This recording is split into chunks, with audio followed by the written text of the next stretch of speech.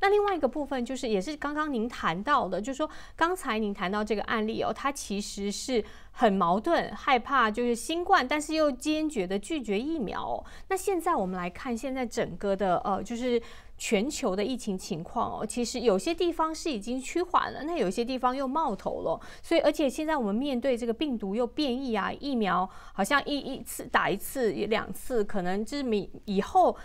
每年都要打，那如果照这样来看哦，就您的观察，这什么时候会是个头呢？您从整合医学角度，怎么样来看待这样的现象呢？这个医学啊，它可以从宏观上看，也可以从微观上看。所以呢，我们是一定从微观看到宏观，因为如果不这么看的话，我们是不能够面对这个问题的哈。那么我们现在呢，是搞得非常的微观哈。我们从一开始。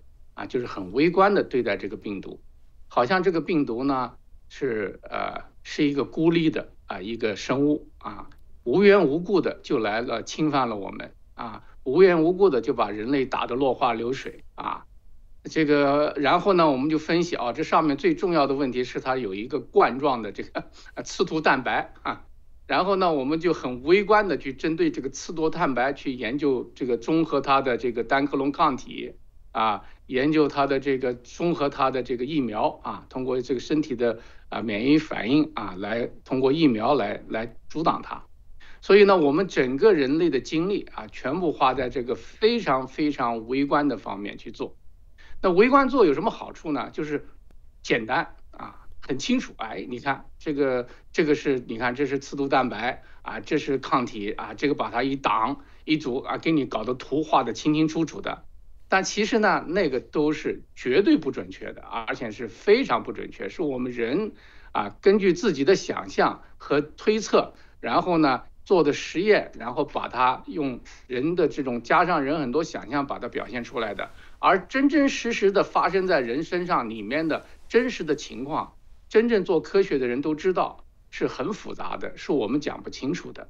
也就是说，如果我们呃，用一个非常微观的想象的，完全在控实验室控制之下的，也就是说，它越是所谓的呃科学的控制的，就是越离现实就越远啊，这是一个问题。那么我们就没有想到第二层啊，第二层就是病毒是一个源源头，那第二个就是宿主啊，它侵侵犯了谁？我们从一开始这个病毒来的时候，我们就觉得。就是一个很有意思的事情，因为呢，它大部分侵犯的人是老年、中老老年人，是吧？啊，中老年年纪越大，他感染越多，然后呢，死亡的也都是年纪很大的，然后呢，有其他慢性疾病的人，对吧？那假定说，我们从整合医学的角度来说，啊，从科学的角度来说，如果我们要控制的是什么？控制它造成的损损害，是不是？那如果控制造成的损害，当然了，一方面是。切断这个传染的源，第二个呢就是帮助宿主，啊，帮助被感染的人。那么谁我们需要帮助呢？啊，需要怎么帮助他们呢？那我们以前就讲过，那就是年纪大的人，是吧？那么这那那说年纪大这个事情，你怎么你不能让他再年轻啊？啊，那不是这个概念。我们年纪大都是相对的啊，有的人很年轻，但他身体年龄很大，因为呢他提前衰老了。啊，有的人年纪很大，他身体年龄很年轻，因为他注意自己的健康啊，这不是一个简单的年龄问题。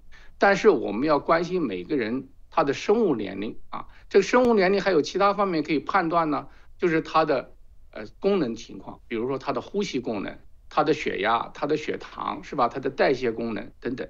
为什么肥胖啊、心脏病、高血压、糖尿病这些都是这些容易造成问题的原因呢？如果这个是原因的话，那你说我们抗疫，我们应该看到的不是整天的是说我们怎么样把钱投到研究疫苗上这个上面那个上面啊，怎么戴口罩，怎么搞呼吸机，而是应该我应该我想象中应该看到的景象是整个政府呼吁全民啊出来运动减肥啊，这个呼吁全民吃健康饮食是吧？给那些卖糖水的啊卖这个垃圾食品的公司十倍的这个罚款。啊，这个让他把这个钱拿来这个加税啊，不是罚款就是加税，啊，让把这个钱拿来给呃给大家免费发这个维生素 D 啊啊，给大家补锌啊，给大家吃有机的饮食啊，就是通过这个呢来改变我们造成这些慢性疾病的原因，是不是啊？造成我们过早衰老的原因，是吧？控制我们慢性炎症，对吧？这个我们都讲过的，这些都会让你。那么这是我们我们从整合医学来看，这个是才是一个科学的办法，但是我们看不到任何在这方面的努力和宣传，也没有任何的投入啊。我们相反的在做一件什么事情呢？就是逼着所有人打疫苗啊，打疫苗。那我们就在说这件事情，打疫苗。这个世界上至少有一半的人不会打疫苗啊。呃，为什么会有一半呢？你说杨医生，你凭什么就这么有的地方人百分之多少人会打了？你如果平均下来的话，最终肯定是有一半的人，因为这个宇宙就是这样的啊，一阴一阳啊，什么事情都是对半的啊。这个有一半人喜欢打疫苗，有一半人就不喜欢打疫苗，必然是这样。那么打疫苗的人有打疫苗的人的道理啊，如果他觉得需要打疫苗，他可能就需要打疫苗啊。他不想改变他自己的生活方式，他也不想改变自己的生活习惯，他也不想从这个疫情当中学到任何东西啊。他想保持他的原来去干什么还继续干什么，那他就会打疫苗啊，他会向外找、向外求嘛，对吧？但是呢，有些人他通过这个以后，他就知道我应该改变我的生活方式，我应该重新思考人生，我应该重新这个这个，我应该把精力放在改善我内生的免疫力上面。为什么这么说呢？非常重要。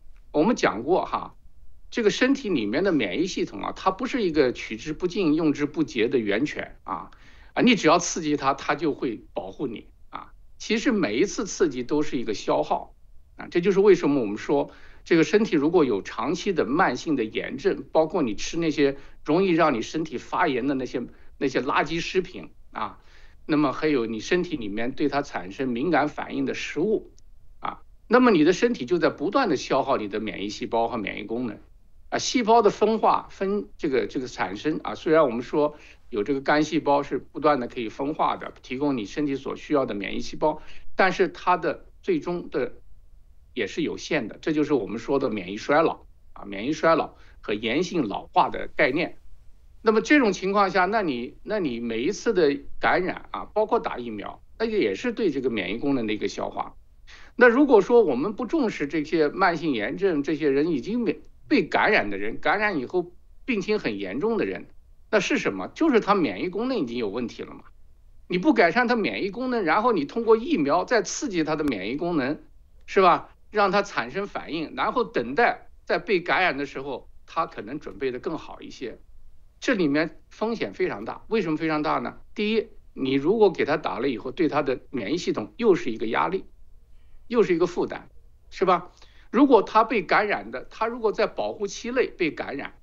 它可能是有一定的保护作用，但还有一个风险，就是说你这个压力以后让它的免疫功能、免疫反应更加减弱。如果来了一个变异的病毒，像 Delta 病毒，啊，如果再来一个新的病毒，那么这群打过疫苗的人，他实际上的免疫反应和免疫功能是减弱了，啊，他在应对新的感染，他是对他是没有利的，没有利的，啊，这有有点像我们叫做什么？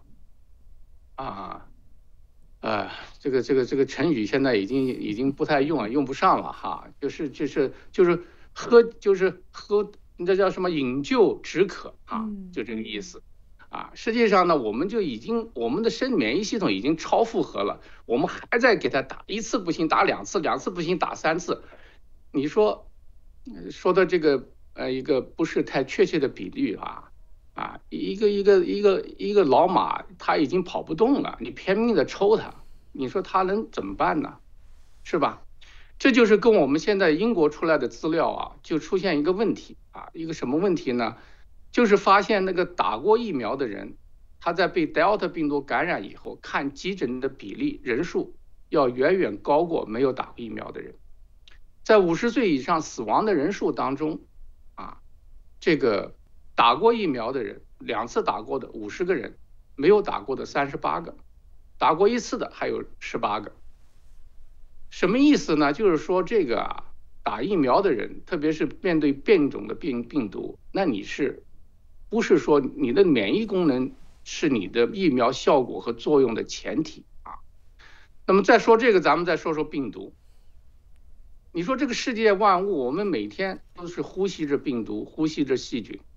是吧？那么人根本就是跟病毒，就是病毒细菌几乎是我们人生存的一部分啊，它在我们身体里面起着很多作用啊。那么我们现在为什么人到了人到了一种害怕病毒的状态呢？啊，人这么样一个，我们说万物之灵啊，现在面对一个小小的病毒束手无策啊，我们自这么自以为是的人类啊，自以为很发达很聪明的人类。现在对一个病毒束手无策、疲于应付啊，那么我们是，我们是不是应该反映一下，我们是不是做错了什么啊？我们为什么会落到这种境地啊？那我们先说说这个病毒，病毒为什么总是胜我们一招呢？现在这个病毒，这个 Delta 病毒有个特点，它呢，第一传播速度很快啊，它这个就是它这个它这个变异的点很多，第二个呢，它跟这个 ACE 这个受体结合力更强啊，比阿尔法病毒更强。第三个呢，它现在开始这个这个感染那些，它有一个让人再次它它能够逃避我们就是后天免疫的这个这个就是打疫苗以后产生的后天免疫的这个这个机制，也就是说它能够让人二次感染和重复感染啊。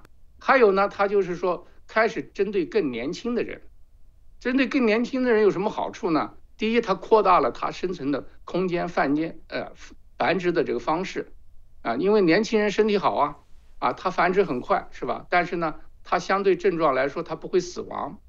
如果造成大量的死亡的话，那我们可能就要跟这个，跟这个病毒同归于尽了，是不是啊？你看人类去年做的事情有点很接近了啊，我们开始不许上班啊，不许上学，是吧？人和人不接触。然后政府给补钱，那你说这个大家都不上班了，不学习了，社会都停摆了，最终这个钱从哪来呢？这样下去以后，人类不是要灭要绝了吗？是吧？那真是就是一个人类跟病毒要同归于尽的这个这个架势，是吧？啊，那你说这个病毒这次病毒很聪明啊，它不能让你跟它同归于尽啊，所以呢，它可能死亡率比较低，哎，这样，所以呢，这就提出另外一个问题，就是说我们可能。不应该整天报道，哎呀，这个感染了多少？哎，多少新型病例？So what？大家都感染了又怎么样？对不对？重要的是感染了以后会发生什么？啊，对我们会发生什么？对吧？那我们能够能够针对这些易感的人群做什么？我们这才是人类应该怎么样去反思自己？如果我们看看现在人类，我们再说大一点啊，我们假如说人是有灵魂的，这个病毒是不是也有灵魂啊？啊，人是这个宇宙的一部分，这个病毒是不是宇宙的一部分啊？这个这个病毒在这个宇宙当中能够为所欲为，那是不是有原因呢？那不管别的吧，咱们说玄的咱就不能说了，咱说这个具体的。你说人类，你凭你为什么要搞个什么病毒实验室，专门研究怎么样让病毒的传播这个这个毒性更大，传播越快呢？你说你做这个事情的动机和目的是什么呢？是吧？这个宇宙如果还真有一个主的话，真有这个宇宙还真有一个规则的话啊，我认为宇宙是非常有规则的哈。你看那太阳啊，一天到晚啊，该起来就起来，该下去就下去啊，一年四季啊变化是吧？那大自然它是有规则的，而是人类是是现在不遵守规则啊，想干什么干什么。那你说这个大自然能不收拾你吗？是吧？嗯，那说现在的人对自然的破坏是吧？对动物的伤害是吧？吃东西什么都吃啊，蝙蝠都吃啊。那你说这个这个能让你这样下去吗？啊，现在的人类更是觉得自己是天老大，这个这个他老二，这个他什么他老大天老二啊，人定胜天，什么都干。那你说这个自然能够留你吗？是吧？所以呢，我是觉得哈，这个大自然给我们带来这场瘟疫，实际上是给我们传递信息。啊，如果再从宏观上讲，传递什么信息呢？就是人类啊，你必须改变你们的现状，啊，你才能够存在下去。你如果得不到这个信息，不改变的话，这件事情是没完的。我会不断的给你传递信息，啊，就像那个这个信使啊，给你传递信息的时候的方式越来越多，啊，越越来越严重，直到把你敲醒为止。你如果实在不行，那你就完蛋。因为这个宇宙它不会留一个让这个大自然受伤害的啊，让其他人受伤害的这样一个呃东西存在。所以呢，如果从宏观上讲，就是这个概念。所以我认为我们整个抗疫是搞错了对象。是，那如果说就您来了解哦，就说您刚才也谈到说，哎，病毒这个从整合医学角度来看，这个病毒它其实如果它是有这样您刚刚提到的灵魂，那。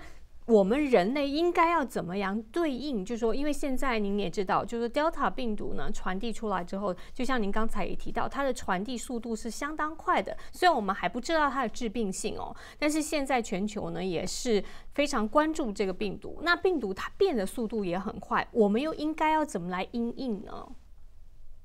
对，我刚才不是讲了吗？就是说呀，我们呃呃。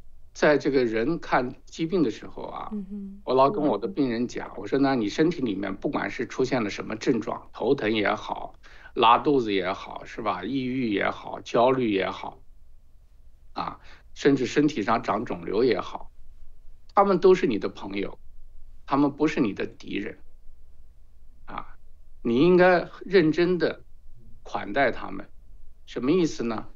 你要把他们当朋友对待，你要感谢他们的到来，啊，他们实际上是想告诉你，你的身体内部出了非常非常啊重要的问题，你应该好好去啊改善它，他是给你传递这样一个信息来的啊。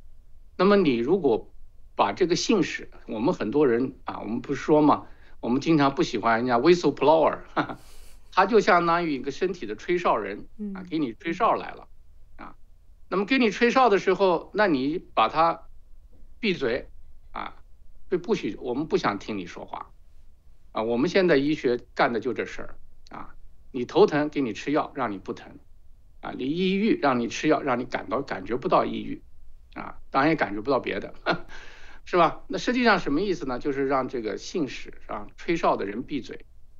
实在闭嘴不了呢，怎么办呢？干脆把他杀了，啊，这杀怎么杀呢？那就是外科手术啊，是吧？子宫嘛，子宫可以切掉，反正不生孩子就可以切掉，啊，胆囊嘛，胆囊有问题也可以切掉，啊，是吧？也许是胆囊问题，切掉，啊，能切掉都切掉，就是偏头疼的人倒霉啊，头没办法切，所以呢，什么意思呢？就是我们现在应对这个事情啊，就是这个办法。啊，就是不听信息，然后把信使甚至要杀掉这样一个办法啊，就是就是掩耳盗铃的办法啊。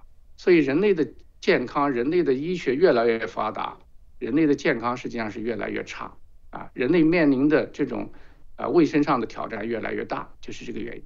那那人家肯定不高兴了，说杨医生，那你照你这么说，这个这个这个这个什么？呃，这个疫情还是个好事儿了啊，还是个好事儿了，我们还应该把它当朋友对待了。哎，我真的我说他就是，嗯，这个疫情啊，就是我们的朋友，不是我们的敌人。嗯，我们不要心不要慌，是吧？那么如果说我们在当初他刚来的时候，是吧？我们采取完全不一样的态度和方法，我们不逼着人打疫苗，我们不逼着人隔离，啊，我们不用各种各样的。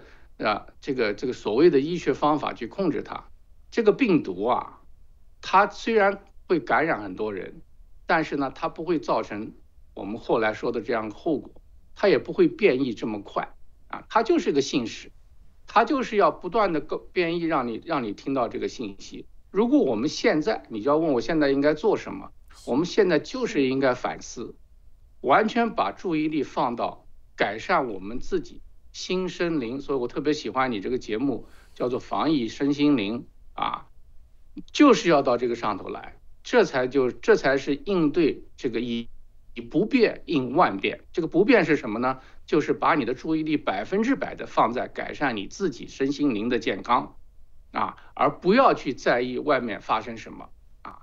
那么该怎么生活怎么生活，该怎么做事怎么做事啊，这才是。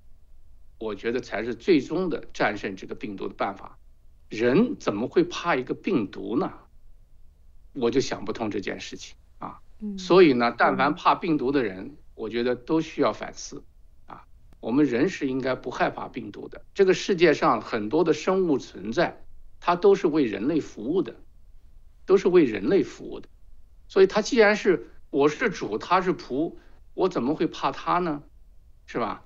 它是应该为我们服务的，啊，所以呢，我我觉得这个说起来这个非常的不正统的观念啊。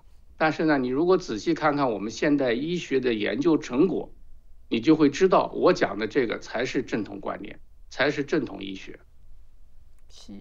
那您刚才其实杨医生每次提到一些观点哦，我觉得大让大家都有很有启发性哦。那另外我想要问一个问题，就是说，其实您刚刚提到说大自然可能它产生的这样一个东西，那大自然要怎么样来清理，跟人行为有没有关系呢？就说如果说我们应该要怎么做，因为这个部分我想也是呃，刚才您提出这个观点之后，很多人会想要来了解到底我应该怎么做，我的行为、我的我的思想，或甚至我我应该怎么样。样照顾我的健康呢？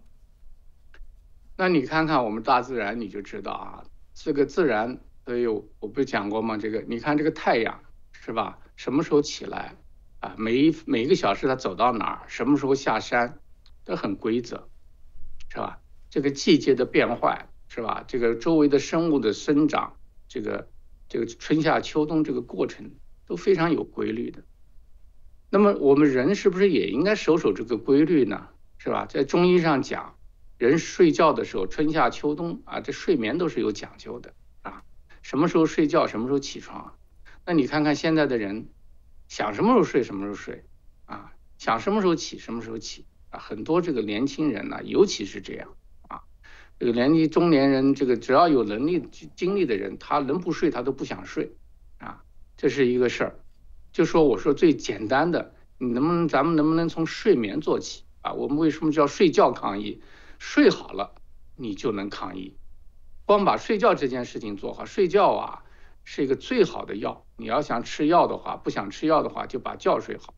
你如果觉没睡好，那你的身体不会好，健康不会好，你的免疫功能不会好啊。所以呢，很简单，就是这是一件事情哈，这是一件事情。第二件事情呢，人是不是是个动物嘛？人是动物的话呢，你是是不是要动啊？是吧？那这个我们现在人类这个已经不动了啊，包括我在内，经常坐在这儿一坐坐一天，是吧？嗯，看这就是这样，我们的我们的生活方式已经不是个动物的生活方式了，已经是变成一个呃困在这个椅子上的一个生活方式了。我们已经不自觉了，因为大家都这样，是吧？一天八小时啊，坐办公室也好，坐家也好。都是坐着的，都不是动了，啊，不强调过度的运动，但是我们比过度运动差得太远了，我们完全是不动了，是吧？那就是这个问题。那你说你适当的运动是不是需要做呢？人的体力活动是不是要开展呢？是吧？这个事情也是需要反思的，人类必须要反思这件事情啊。呃，熬夜的，就是坐在那儿几十个小时、几十小时，还觉得这个。工作态度特别好啊，觉得这个很努力啊，自己很奋斗啊。其实呢，这都是这个这个自自给自己挖坑的事情啊，是不能做的。那这是第二个事儿，第三个事儿就是我们吃啊。我们前一段时间做了个节目，就是这个吃的问题。人类啊，这个他不是说一一天三顿饭，然后吃的这个还吃零食，中间这个人类这个身体啊，他就不是这么设计的。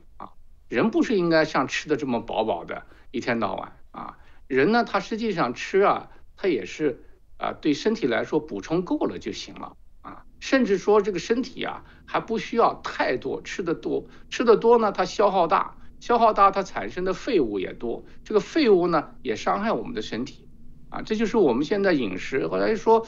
啊，这个杨医生啊，你们咱们是中医啊，中医都要讲这个吃饭要有规律，没错，吃饭是要有规律。可是你这么多年，你规律的吃饭了吗？你吃了像中医吃的一吃饭三分饱吗？你吃的是像中医说的早上要吃好，这个呃吃饱，中午要吃好，晚上要吃少吗？我们都没有这么做啊。所以呢，现在是临时抱佛脚了啊，因为到了这个年龄了，你你这个习惯养成了。那我们才讲什么幺六八断食啊，什么二幺幺饮食内容啊，是吧？才讲这个东西啊，那是为了 救急，为了这个亡羊补牢，是吧？